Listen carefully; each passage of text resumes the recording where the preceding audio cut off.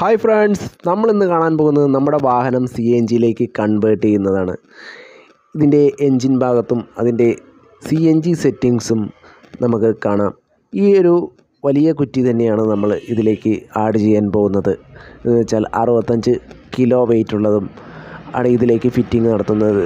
ഈ കാണുന്ന ഈ ബ്രാൻഡ് സി എൻ ജി കിറ്റാണ് നമ്മൾ ഇതിൽ ഫിറ്റ് ചെയ്യുന്നത്. വളരെ ഈസി ആയിട്ട് കപ്പിൾ സൈസ് സിസ്റ്റത്തിൽ ഇത് ഫിറ്റ് ചെയ്യാം എന്നാണ് പറയുന്നത്. ഇതിന്റെ എൻജിൻ ഭാഗത്ത് എക്സ്ട്രാ ഫിറ്റിങ്ങുകളും അതിന്റേതായ ആവശ്യങ്ങൾക്കായ കണക്ഷനുകളെല്ലാം ഇവർ പെട്ടെന്ന് തന്നെ സെറ്റ് ചെയ്തുകൊണ്ടിരിക്കുകയാണ്. നമ്മളുടെ ഈക്കോ വാനാണ് ഇതിൽ സി എൻ ജി സെറ്റ് ചെയ്തുകൊണ്ടിരിക്കുന്നത്.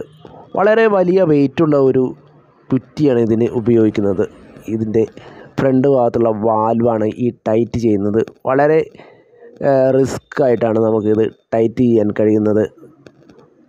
ഇതിന്റെ ഏറ്റവും സേഫ്റ്റി ആയിട്ടുള്ള സേഫ്റ്റി വാൽവും ഇവിടെ തന്നെയാണ് വരുന്നത്.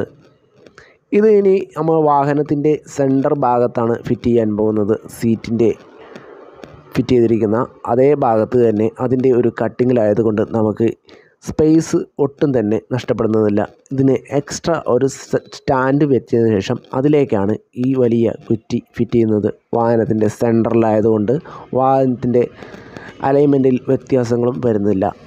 എന്നാൽ സ്പേസ് ഒട്ടും തന്നെ നഷ്ടപ്പെടാത്ത രീതിയിലാണ് ഇതിന്റെ ഫിറ്റിംഗ് നമുക്ക് ഏറ്റവും കൂടുതൽ ഇതിൽ ലോഡ് കയറ്റിക്കാനും അതിന്റെ മറ്റ് ആവശ്യങ്ങൾക്കാണ് നമ്മൾ ഇത് ഉപയോഗിക്കാറുള്ളത്.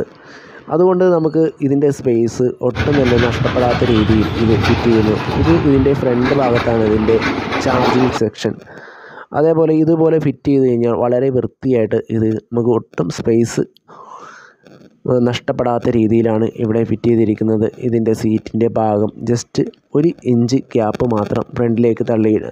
എന്നാലും നമുക്ക് സ്പേസ് ഓപ്ഷൻ തന്നെ നഷ്ടപ്പെടാതെ ഇത് ഫിറ്റ് ചെയ്യാൻ സാധിച്ചു എന്നാണ് കാണുന്നത്. ഫിറ്റിങ്ങിന് ശേഷവും നമുക്ക് ഇതിന്റെ സീറ്റിങ്ങോ അതല്ലെങ്കിൽ ലോഡ് കയറ്റാനുള്ള ഡിക്കിയോ ഒരു ശതമാനം സ്പേസ് നഷ്ടപ്പെട്ടിട്ടില്ല എന്നാണ് കാണുന്നത്. ഇനി ഇതിന്റെ വർക്കിംഗ് സെക്ഷനിലേക്ക് പോകാം. ഇതിന്റെ ഫുൾ ഗ്യാസ് അടിച്ചതിന് ശേഷം ഇതിന്റെ എങ്ങനെയാണ് ഇതിന്റെ ഇത് സ്റ്റാർട്ട് ചെയ്യുമ്പോൾ എപ്പോഴും പെട്രോളിൽ തന്നെയാണ് സ്റ്റാർട്ട് ആവുന്നത്. ഏകദേശം മുപ്പത്തെട്ട് ഡിഗ്രി ഹീറ്റ് ആയതിനു ശേഷം ഓട്ടോമാറ്റിക് ഗ്യാസിലേക്ക് മാറുകയും ചെയ്യും. ഇതാണ് ഇതിന്റെ സിസ്റ്റം. നമുക്ക് ഓട്ടോമാറ്റിക് മാനുവലിലും ഇത് മാറ്റുകയും കൺവേർട്ട് ചെയ്യുകയും ചെയ്യുന്നതാണ്. ഇനി ഇതിന്റെ കൂടുതൽ വീഡിയോ നമുക്ക് കാണാം.